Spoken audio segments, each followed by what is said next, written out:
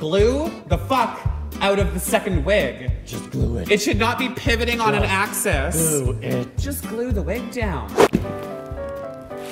Hi, I'm better down where it's wetter. Champagna Enemea. And I'm that bus that everyone keeps getting thrown under, Allysin Chaynes.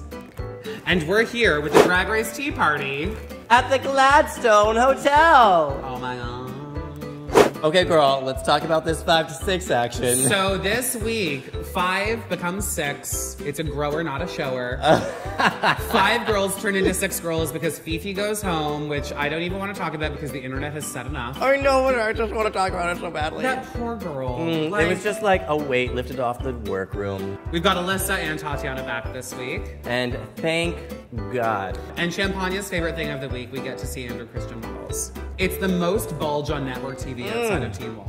You know? It's just so, So- so much bulge. Fucking good. I loved this mini challenge because it remained like it made me really think of like when they have ridiculous mini challenges like in season Oh God, four. they're so good sometimes. Where like, well, remember that one when they had to pick up like um, eggs with their butt cheeks? Oh my God, yeah. Like remember, and they had to like do an obstacle course. that course. was so good. I mean, I'm just gotta like do it every day. Yeah, Yeah, I'm just gonna like,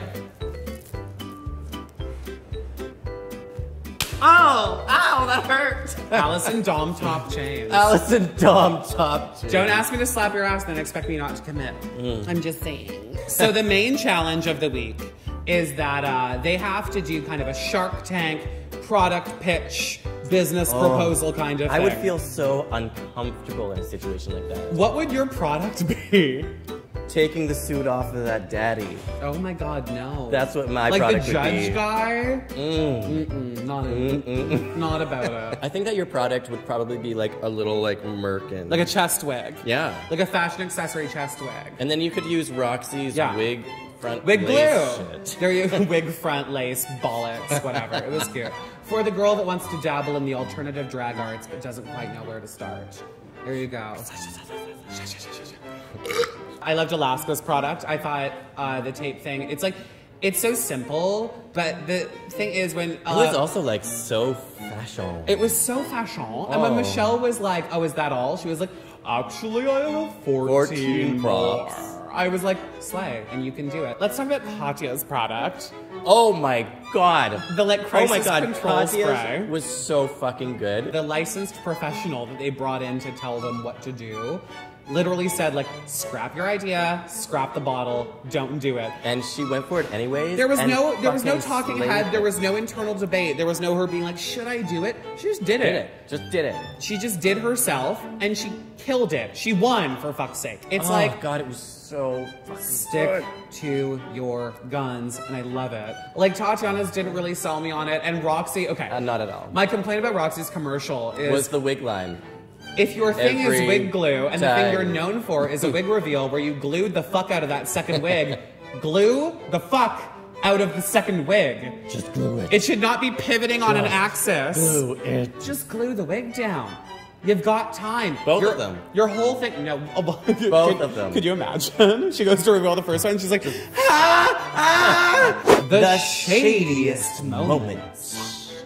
Um, my shadiest moment, I think, was the fact that Fifi was gone and there was not a lot of shade. End of segment. Literally, like, it was night and day. Everyone the way so everyone seemed in the workroom that it was like, oh. Yeah, that was the lack of shady. There's a lot less manufactured That's drama. was. I mean, I also thought it was kind of shady that Alaska sent Tatianna home. I agree. I mean, Alaska talks, cool story, bruh, but like, come on. The filthiest moment. Whoa. Uh, it's like a reflex. Oh, What is my body? what is my body, God? Um, my filthiest moment, our filthiest moment, I think. a one hundy, one hundy. Katya's runaway. Like a perfectly fitted, amazing, like dusty maroon and beige gym suit. Just looked like the fucking gym teacher that I had in high school. it was like Anna Wintour was like, I'd like to do a spread on gym teachers this week. It's like, it was stunning. Oh my Um, what were your gym teachers like in high school? hot. Yeah? Daddy issues. No, not mine. I just like opted out of gym so I didn't have to get an erection in the change room. There it is.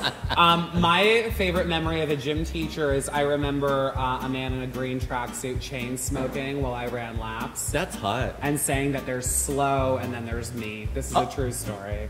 Yeah. Totally rude. Um, but I also gave my first blowjob in our uh, locker room, so I won. Yeah. Yeah. Tatianna's runway. Let's talk about that. Okay, so the runway was kind of like meh, but then the fucking performance was like full on good Like, shit. She came out and I liked that was what outfit. sold us on it. She started flawlessly TLC T-Boz dancing, and I was like, oh my god. That's what. That was like the pièce de résistance. And therein lies the All Stars dilemma: is that Tatianna went home even though her runway was so good, but putting effort in on the runway this It season. means nothing because the other girls don't get to see it. They don't see it. They're backstage waiting for their runway. That is a whole new drag race dilemma that we've never even thought of. No. You know, if I was rude. Um, if I was Ru, Yeah. I probably would have had like a million fucking weaves falling from the ceiling when they were doing the shooting. True. That'd be really A fun. million. That's what I would have done. And then have the- because that was cute. It would just been like so much better. With Have that ending bit from Chicago play when Roxie and Velma shoot out the sign where it's like da da da da da da da da da da da da da da da all the light bulbs, and then yeah. just all the wigs on the ground. predictions. Is there a B in here? My prediction is that next week Roxxxy Andrews goes home. That's my prediction. Oh, that's such a good prediction. Unless she uh, wins and then lip syncs and then she goes one wig and they're like again girl and then she goes another wigs. wig and then they're like cut to that gif of Michelle being like and then another wig and then the suit falls off and it's Coco. Yeah, my prediction is that Roxxxy Andrews is Coco Montrese in a Roxxxy Andrews suit. oh shit, those plastic dolls. Next week, whoever gets cut off, eliminated, whatever you want to call it. Cut off. that fucking alarm is gonna go off again. I Oh. hope to God they're gonna be like, oh, I feel really bad. Whoop, whoop. Hey kitty girl, It's my prediction. Your time is not over yet, and then there's 18 more episodes. Please. Join us next week at the fabulous Gladstone Hotel, the artsiest hotel like ever. I love it so much. the best hotel.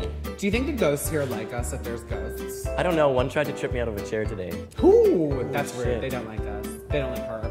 Um, where we will be reviewing and spilling the tea on RuPaul's Drag Race All Stars Season 2.